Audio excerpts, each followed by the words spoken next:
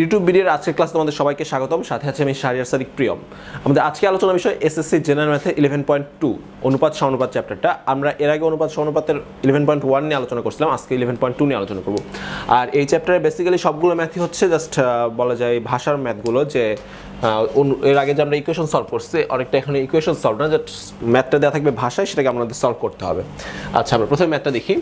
যে ক, খ, গ এর মাঝে তিনশো টাকা এমনভাবে ভাগ করে দাও যেন কয়ের অংশ ইস টু ক্ষয়ের অংশ equal to two is to three ক্ষয়ের অংশ ইস টু গয়ের অংশ equal to one is to two এবং গয়ের অংশ ইস টু ঘয়ের অংশ equal to three is to two হয়।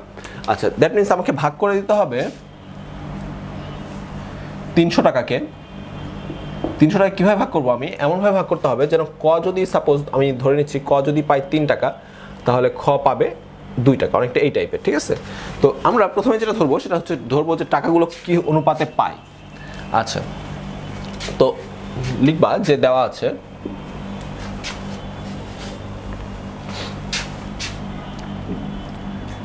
দেওয়া আছে।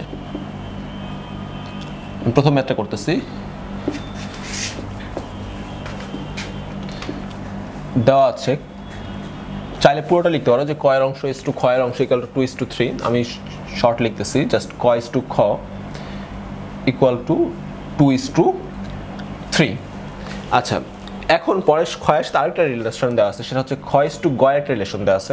ইস টু গ equal to one is to two আচ্ছা এই ম্যাথগুলো যখন দেওয়া থাকবে, এরকম দুইটা অনুপাত দেখো, এখানেও ক্ষয় একটা অনুপাত দেওয়া আছে, এখানেও ক্ষয়ের একটা অনুপাত দেওয়া আছে। তো আমি চেষ্টা করব যে এই ম্যাথগুলো যেটাই দেওয়া থাকুক না কেন, সেক্ষেত্রে আমাদের যে ট্রাই করতে হবে, সেটা হচ্ছে প্রথমটার যেটা আছে, ক্ষয়ের পরের রিলেশনেও সেই মানটাই নিয়ে আসতে হবে। যেমন এখানে ক্ষয়ের অনুপাত কত দেওয়া আছে? তিন, আর এখানে ক্ষয়ের অনুপাত কত দেওয়া আছে? এক। সো আমার ট্রাই করতে হবে যে আমি এই এককেও তিন বানাইতে চাই। দ্যাট মিনস আমি এখানে থ্রি দ্বারা গুণ করতে পারি। আচ্ছা থ্রি দ্বারা গুণ করলে কি হয়? থ্রি ইস টু সিক্স বোঝা গেছে? এখন এখানে পাশে সাইড নোট দাও যে অনুপাতের লব হরকে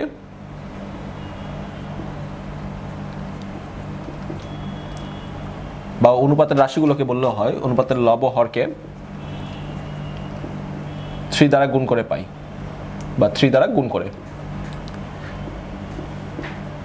আমরা এটা কেন করলাম? আমাদের এটা মেইনলি করতে হয়েছে এই জন্য যে এখানে ক্ষয় অনুপাত ফার্স্টে কত ছিল? থ্রি এখন ক্ষয় অনুপাতটা পরে গয়ের সাথে যখন তার রিলেশনটা আসে, সেখানে দেওয়া আছে ওয়ান ইস টু টু তো ওয়ান ইস টু এখানে যেহেতু ক্ষয় অনুপাত ওয়ান আসছে সো এটাকে আমি ক্ষয়ের সাথে দেখাতে চাই, যে মেইন ক্ষয় যে এখানে যেটা থ্রি ছিল সেটাই।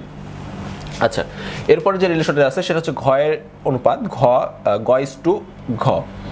এইখানে দেওয়া আছে থ্রি ইস টু সিক্স তো আমার তো সবগুলো অনুপাতকে সমান বানাতে হবে, যেমন কয়ের অনুপাত দুই, ক্ষয়ের এখন দুই পাশে হচ্ছে থ্রি সেমভাবে গয়ের এখানে আছে সিক্স আর এখানে আছে থ্রি সো আমার এখানে সিক্স বানাতে গেলে কি করতে হবে? টু দ্বারা গুণ করতে হবে। That means six is to four ঠিক আছে? সেমভাবে সাইড নোট দিবা জনপাতের লবহরকে টু দ্বারা গুণ করে পাই। আচ্ছা তাহলে পুরো রিলেশনটা কি পাইলাম? দেখো, আমি যদি পুরো রিলেশনটা লিখি, ক ইস টু খ ইস টু গ ইস টু ঘ। That means two is to three is to six is to four এটা তো পুরো রিলেশন যে আমার যদি ক যদি দুই টাকা পায়, তাহলে খ পাবে তিন টাকা তিন টাকা, খ যদি তিন টাকা পায়, তাহলে সেই ক্ষেত্রে গ পাবে হচ্ছে ছয় টাকা, আর গ যদি ছয় টাকা পায় সেক্ষেত্রে পাবে, ঘ পাবে চার টাকা।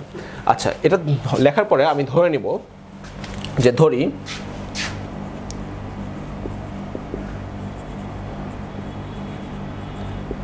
ক পাই টু এক্স টাকা। সেমভাবে খ পাবে কি, কত ধরবো? থ্রি এক্স প্রথমে আমাদের অনুপাতগুলো সমান করে নিতে হবে, ঠিক আছে? খ পাই থ্রি এক্স গ পাই সিক্স এক্স ঘ পাই ফোর এক্স টাকা। আচ্ছা এখন বলছে কি, এই টাকাগুলো কাদের মধ্যে ভাগ করে দেবো? সমস্ত টাকার যোগফলটা কত হবে? তিনশো, কারণ তিনশো টাকা থেকে তাদের ভাগ হবে। অতএব লিখতে পারো যে শর্ত মতে প্রশ্ন মতে অতএব প্রশ্ন মতে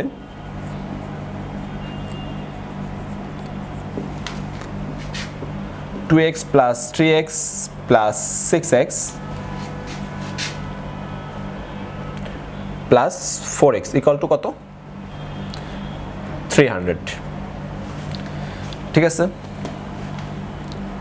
So fifteen x equal to three hundred অতএব এক্স ইকাল টু টোয়েন্টি। এক্সের এই যে টোয়েন্টি ভ্যালুটা পাইলাম, এটা এখন আমি কয়ে ইনপুট করে দিব। অতএব ক পাই?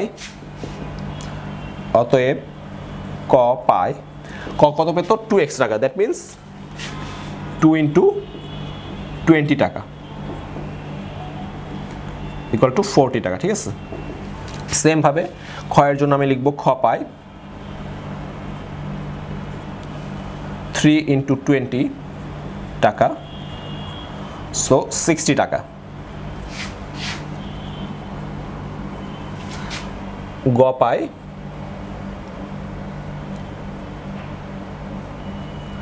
সিক্স ইন্টু টোয়েন্টি টাকা। দ্যাট মিন্স ওয়ান টোয়েন্টি টাকা।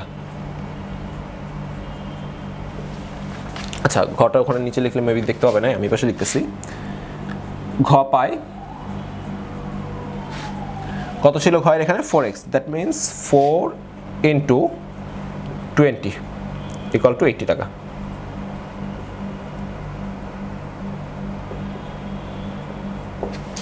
ঠিক আছে, তাহলে প্রথমে আমাদের এই ম্যাথগুলোতে কী করতে হবে? যে অনুপাতগুলো দেওয়া থাকবে সেগুলো আমরা লিখব।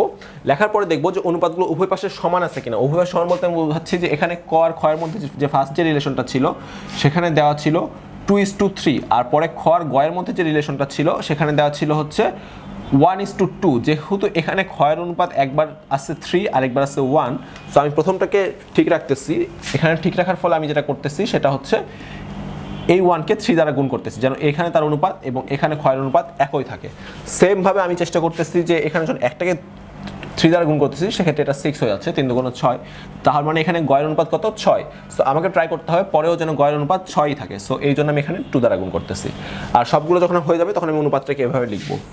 পুরোটা হয়ে যাওয়ার পর অনুপাতটা এভাবে লেখার পরে জাস্ট আমি ধরে নেব যে ক পাই টু এক্স টাকা, খ পাই থ্রি এক্স গ পাই সিক্স এক্স ঘ পাই ফোর এক্স আর তারপরে প্রশ্ন মতো জাস্ট যোগ করে দেওয়ার পরে এক্সের ভ্যালুটা বের করব। আর এক্সের ভ্যালুটা বের করার পরে মান বসিয়ে দিলেই হয়ে যাবে বাকিটা। আচ্ছা এরপরে এরপরে যে ম্যাথটা আছে সেটাও বেশ ইজি সেটা হচ্ছে তিনজন জেলে ছয়শো নব্বইটি মাছ ধরেছে। আচ্ছা তাদের অংশের অনুপাত two by three four by five and five by six হলে কে কয়টি মাছ পেল? আচ্ছা আগে আমরা অনুপাতটা লিখে নিব।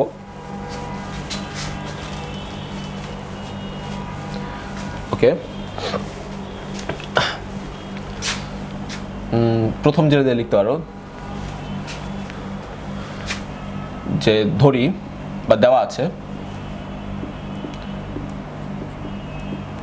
দেওয়া আছে প্রথম জেলে ইস টু দ্বিতীয় জেলে, বা প্রথম জেলে অনুপাত, দ্বিতীয় জেলে বলতে পারো।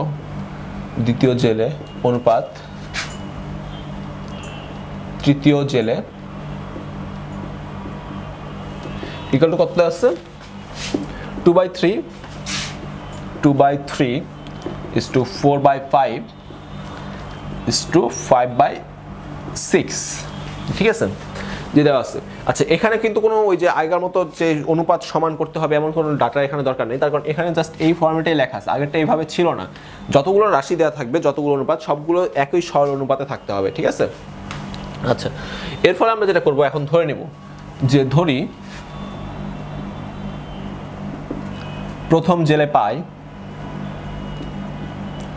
প্রথম জেলে পাই অনুপাত কত আসছে two by three two by three into x টাকা। সরি এক্সটি মাছ। যেহেতু মাছের কয়টা থাকবে, তাহলে বলছে এক্সটি মাছ। অতএব দ্বিতীয় জেলে পাই ফোর বাই ফাইভ ইন্টু এক্সটি মাছ। তৃতীয় জেলে সেমভাবে পাবে কত? ফাইভ বাই সিক্স ইন্টু এক্সটি মাছ। আচ্ছা এই জেলেদের মধ্যে তো সমস্ত মাছ পেয়েছে। দ্যাট মিনস এই যে ছয়শো নব্বইটি মাছ, তার এগুলো সবগুলো যোগ করে ছয়শো নব্বই আসার কথা। আচ্ছা অতএব লিখো, যে অতএব প্রশ্ন মতে বা শর্ত মতে শর্ত মতে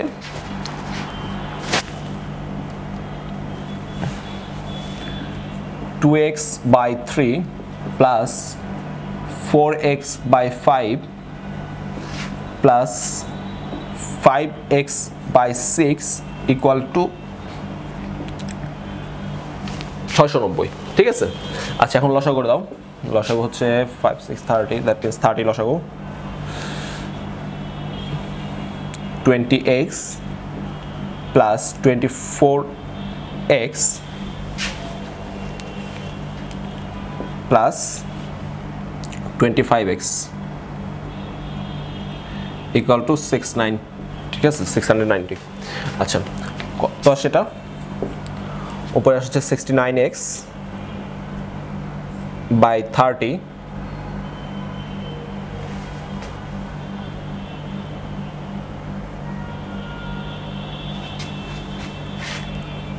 six ninety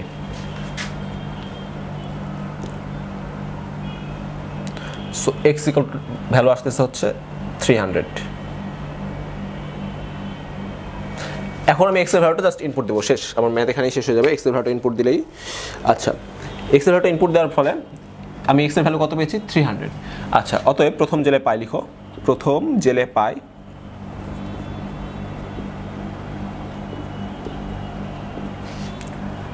two by three into three hundred টি মাছ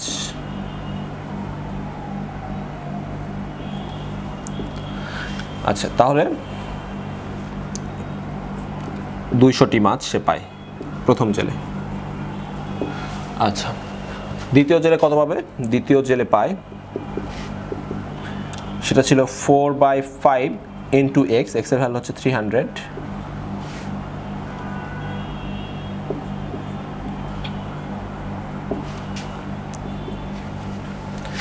ফাইভ দিয়ে সিক্সটি, দ্যাট মিনস দুশো চল্লিশ।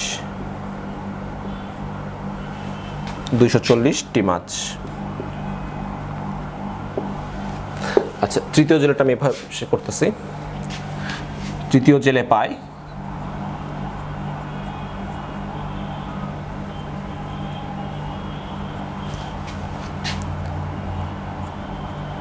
Five by six into three hundred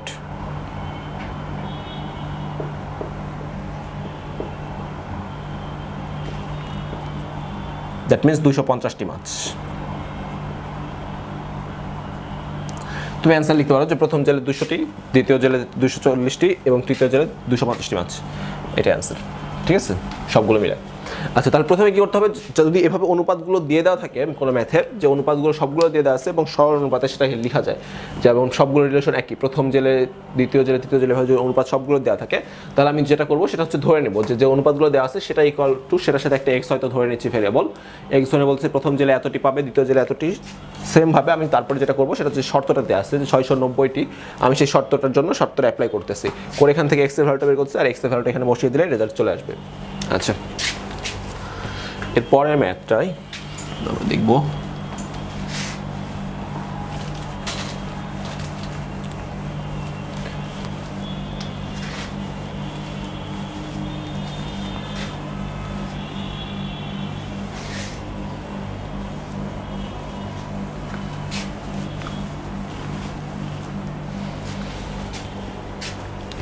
আচ্ছা পরবর্তীতে আছে একটি ত্রিভুজের পরিসীমা ফোর্টি ফাইভ সেন্টিমিটার বাহুর দৈর্ঘ্যের অনুপাত three is to five is to seven হলে প্রত্যেক বাহুর পরিমাপ নির্ণয় করো। আচ্ছা তাহলে ত্রিভুজের পরিসীমা সময় আমরা জানি যে ত্রিভুজের সব ত্রিভুজ বলো, চতুর্ভুজ বলো বা বর্গ বলো সব কিছুর পরিসীমা কি? তার বাহুগুলোর যে যোগফল আছে, বাহুগুলোর দৈর্ঘ্য, সেটার যোগফল হচ্ছে তার পরিসীমা। আচ্ছা তাহলে এই ত্রিভুজের পরিসীমা হচ্ছে তার তিনটা বাহুর যোগফল। আচ্ছা তাহলে দেওয়া হচ্ছে, দেখো যে বাহুগুলোর অনুপাতের বাহুগুলোর দৈর্ঘ্য অনুপাত three is to five is to seven হলে প্রত্যেক বাহুর দৈর্ঘ্যের পরিমাপ নির্ণয় করো। আচ্ছা। সো আমি একটু আগে বলছি, যদি অনুপাতগুলো এভাবে দেওয়া থাকে সরল অনুপাত আকারে, যেমন প্রথম বাহু আমি যদি হয় থ্রি দ্বিতীয় বাহু হবে ফাইভ অ্যান্ড তৃতীয় বাহু হবে সেভেন তাহলে আমি এটা ডিরেক্ট লিখতে পারি। তুমি চাইলে ডিরেক্ট অনুপাত দিয়ে লিখতে পারো যে প্রথম বাহু ইস দ্বিতীয় বাহু। আচ্ছা লিখো, দেওয়া আছে। আমি একটা এ পাশ থেকে লিখি শুরু করি। কারণ এ পাশে বারবার ব্যাক করতে হয়। দেওয়া আছে।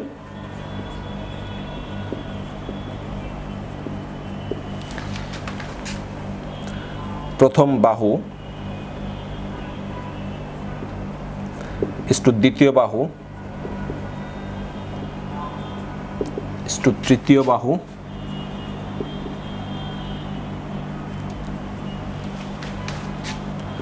three is to five is to seven আমি বলছিলাম যদি এভাবে সবগুলো অনুপাত দেওয়া থাকে, তাহলে আমি সহজেই ধরে নিতে পারি যে প্রথম বাহু কত হবে? থ্রি এক্স সেন্টিমিটার দ্বিতীয় বাহু ফাইভ এক্স সেন্টিমিটার এবং তৃতীয় বাহু সেভেন এক্স সেন্টিমিটার আচ্ছা আরেকটা জিনিস দেওয়া আছে, এবং দেওয়া আছে এটা, এবং ত্রিভুজের পরিসীমা,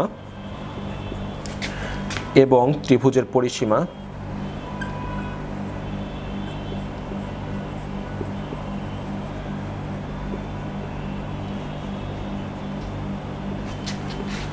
equal to 45 সেন্টিমিটার ঠিক আছে? আচ্ছা এখন ধরে নাও যে ধরি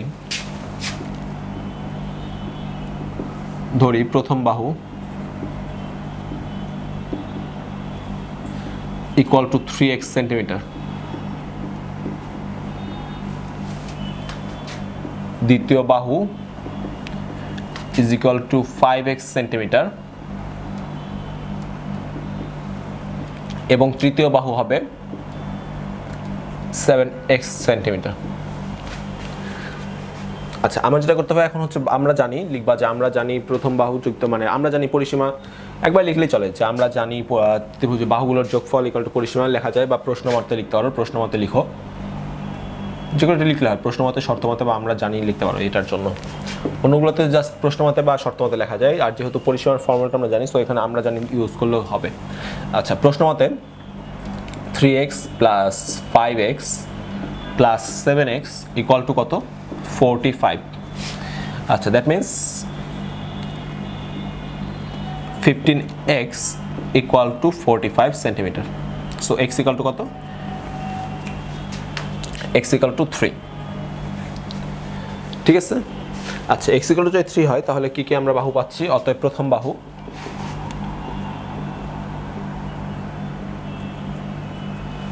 equal to 3 into 3 that means 9 centimeter.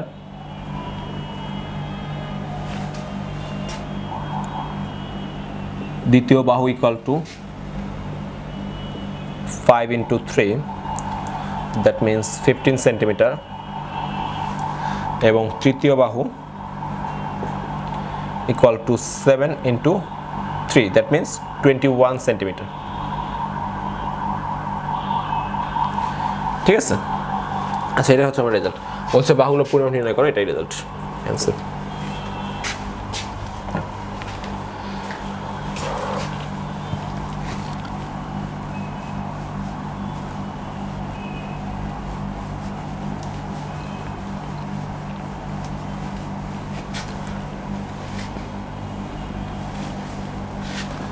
আচ্ছা এরপরে ম্যাথটা দেখো, বলছে দুইটি সংখ্যার অনুপাত ফাইভ ইস টু সেভেন তাদের গসাগু ফোর হলে সংখ্যা দুটির লসাগু কত?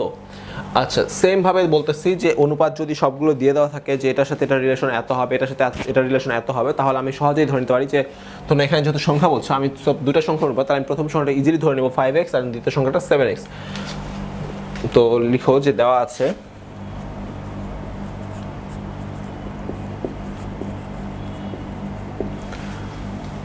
প্রথম সংখ্যা ইস্টু দ্বিতীয় সংখ্যা লিখতে পারো। সংখ্যা ইস্টু দ্বিতীয় সংখ্যা। Equal to five to seven এবং তাদের গসাগু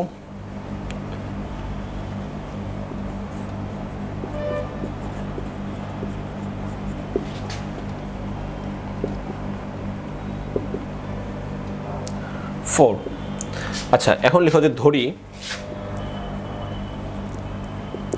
সংখ্যা দুটি।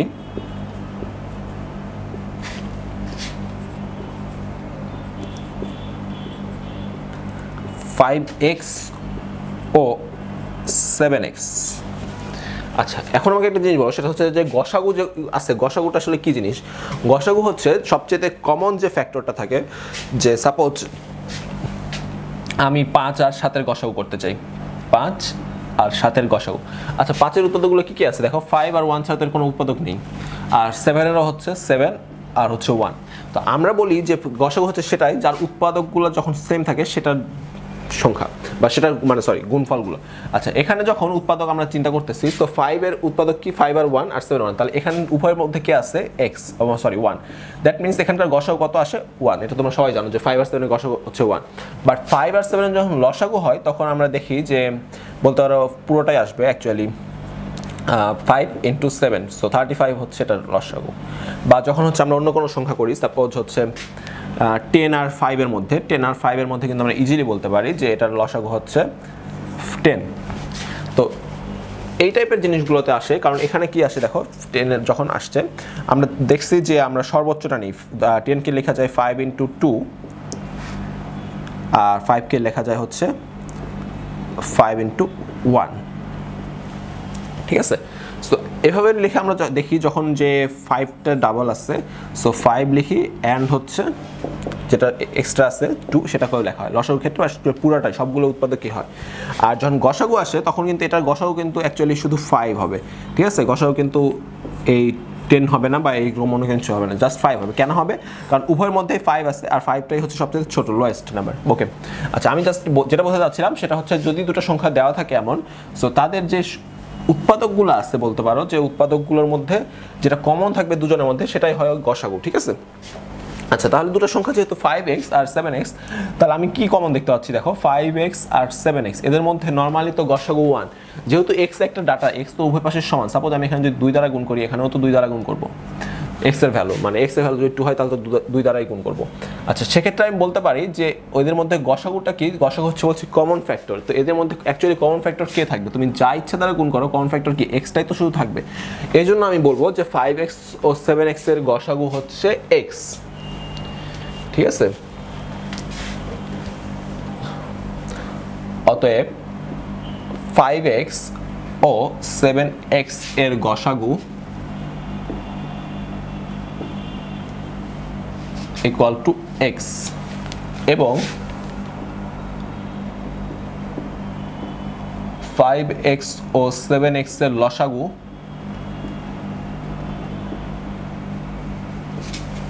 আচ্ছা লসাগু কি হবে? লসাগু হচ্ছে পুরোটা হবে। That means thirty five x আচ্ছা এখন কি দেওয়া আছে আমাদের? আমাদের দেওয়া আছে যে গসাগু ফোর হলে। তার মানে আমি বলতে পারি যে শর্ত মতে বা প্রশ্ন মতে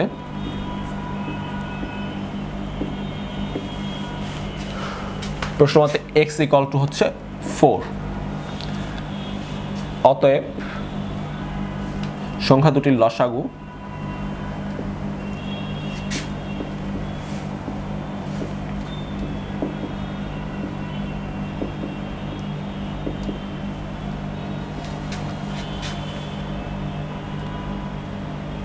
থার্টি ফাইভ এক্স আচ্ছা এখানে ভ্যালু বসিয়ে দিলে হচ্ছে এক্সের ভ্যালু হচ্ছে four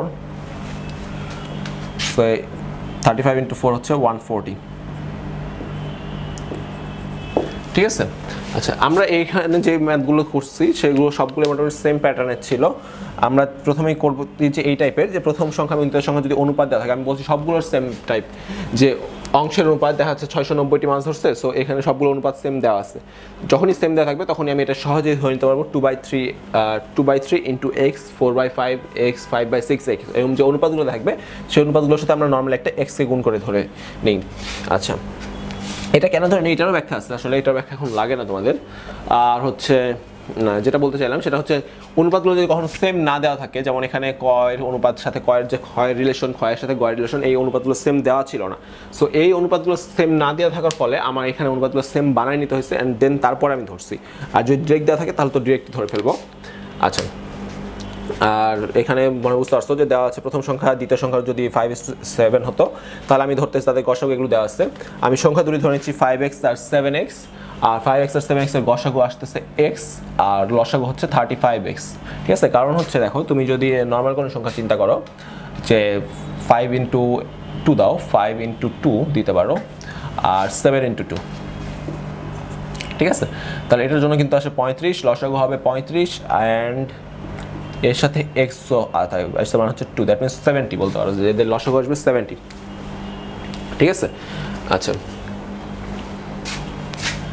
সো এই জন্য আমরা লিখতে পারি থার্টি ফাইভ ইন্টু এক্স আচ্ছা আমাদের আজকের ক্লাস এ পর্যন্তই থাকবে। আমরা আমাদের নেক্সট ক্লাসে ইলেভেন পয়েন্ট টু এরই অন্য জাস্ট এর পরের ম্যাথগুলো নিয়ে আলোচনা করব। আজকের ক্লাসে পর্যন্ত থাকবে।